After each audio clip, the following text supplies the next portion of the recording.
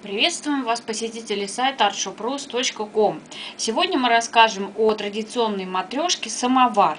Это простая матрешка, выполнена а, в городе Сергиев Посад, состоит из пяти мест. Каждая куколка выточена из дерева липы. Роспись выполнена вручную, достаточно аккуратно, тщательно. Обратите внимание, как прописаны э, цветочки.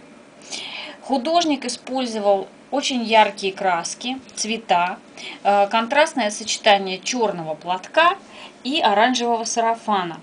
У каждой матрешки на голове также золотой кокошник.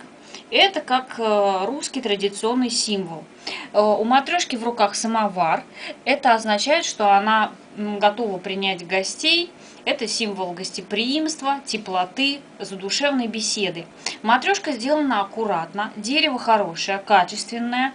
Вот, вот так вот выглядит маленькая матрешка. Она достаточно крупная, у нее прописано лицо, потому что встречается так, что у недорогих матрешек бывают не очень хорошо, а то и вообще не прописаны лица. Также из плюсов хорошая шлифовка достаточно. Посмотрите, какое дно идеальное. В общем, это качественная, недорогая и очень традиционная русская матрешка.